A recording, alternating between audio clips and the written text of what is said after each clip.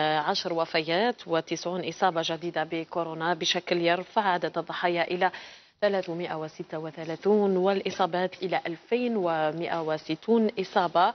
وحسب جمال فرار الناطق الرسمي باسم لجنة المتابعة للوضع الصحي فإن عدد الحالات التي تماثلت بالشفاء وصلت إلى 708 حالات. يعني جرعة من الأمل. نعم جرعة من الأمل ونتمنى أنه أيضا عدد الإصابات تخلي المواطنين أكثر مسؤولية في أنهم آه، دائما يتبعوا الوسائل الوقائية وأيضا يلتزموا بالحجر الصحي لتخفيف عدد الإصابات وللتقليل منها لكي لا يزيد العدد أكثر من ذلك. صحيح. وكنت دائما ما نقول لما توصل فقرة البيئة أو الأحوال الجوية نقول مصائب قوم عند الطبيعة فوائد. فوائد نعم. رب ضارة نافعة. في الحقيقة آه، البيئة تلتقط أنفاسها آه، بسبب جائحة كورونا.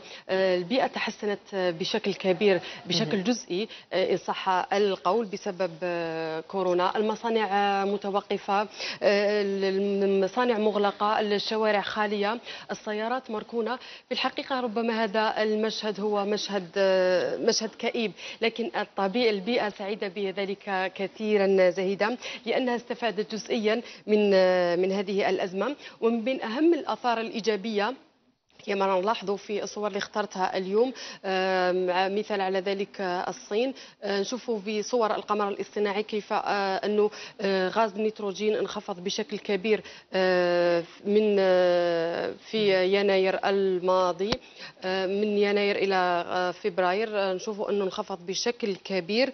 في الحقيقة الباحثون أكدوا أن هناك ارتفاع محسوس في في في جودة الهواء في أغلب مدن العالم أو في معظمها إن صح القول آه، حيث آه، ارتفع متوسط عدد أيام آه، الهواء العالية الجودة بنسبة 21.5 بالمئة.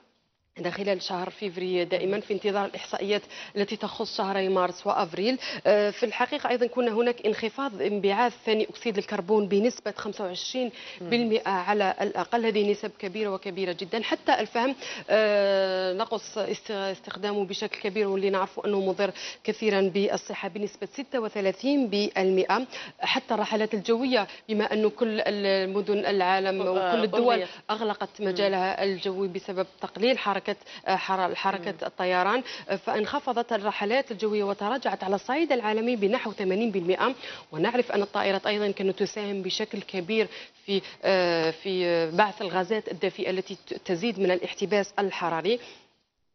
أيضا غاز ثاني أكسيد النيتروجين اللي هو أيضا كان من أهم مسببات الاحتباس الحراري. كما نلاحظوا راح نلاحظوا في هذا الجدول آه، تراجعت نسب انبعاث غاز ثاني أكسيد النيتروجين. مثلا مدينة ميلانو الإيطالية انخفضت بنسبة 22% 47% في مدينة بيرغامو الإيطالية في مدينة روما العاصمة 35% في برشلونة الإسبانية 55% نسبة كبيرة آه، المدينة التي كانت متضررة كثيرا بفيروس فيروس كورونا ولا زالت آه، مدريد 41% آه، المغرب في العالم العربي ما بين 30% و 60% لم أجد نسب في الجزائر أتمنى في الأيام القادمة أننا نتحصلوا على نسب في الجزائر.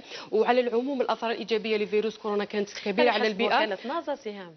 هذه حسب الإحصائيات الأخيرة. لمراكز الإحصاء عبر العالم. التلوث العالمي بصفة عامة انخفض بنسبة 48% وهذه نسبة آه، جيدة ومفيدة للبيئة.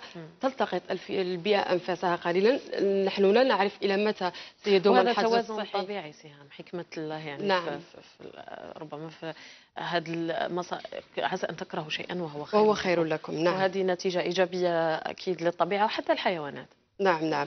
آه، حتى أيضا الآثار الإيجابية لكورونا لم تنعكس فقط على المناخ وعلى أيضا على المياه المياه أصبحت صافية بشكل آه، أكبر. وحتى نشاط آه، نشاط الأسماك أصبح هناك تحسن ملحوظ فيه بسبب غياب حركة السفن بسبب غياب نشاط نشاطات الإنسانية عموما.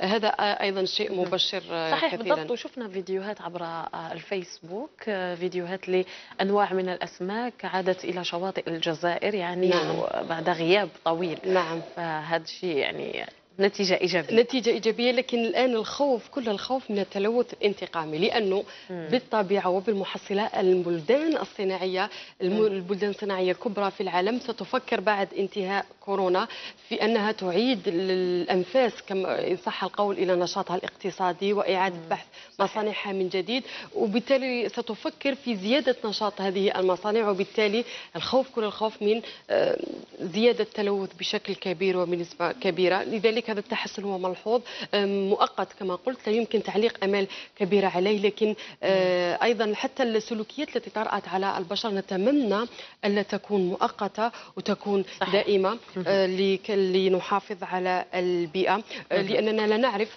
الآن إلى متى ستبقى هذه العوامل المؤثرة في المناخ بشكل سلبي متوقفة عن العمل وإلى متى سينتهي هذا الوباء وستنتهي أثاره على الناس وعلى صحيح. البشر عموما. هذا كان بالنسبة لفقرة بالنسبة لفقرة البيئة. ونوصي دائما أيضا الناس بالالتزام بالحجر الصحي باتباع الأساليب الوقائية والتقليل من الخروج إلى الخارج إلا للضرورة المطلقة.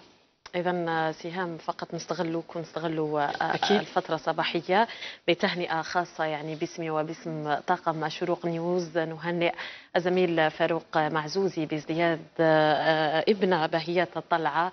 سميت على بركة الله بعاتك جعلها الله برة بوالديها وحفظها الله من كل سوء.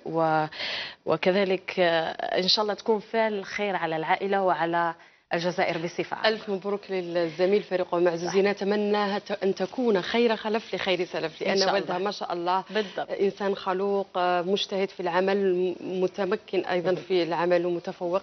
نتمنى أن تكون خير خلف لخير سلف. إذا شكرا لك العفو سيدة أسعدني الإنضمام إليكم مجددا في غدوة ولا شيخ فرحات؟ ربما شيخ فرحات ربما أنا. نخلي هذاك للدور. معليش كيف كيف كيف انت كيما شيخ فرحات شكرا, لك إذا مشاهدينا الكرام فاصل ونواصل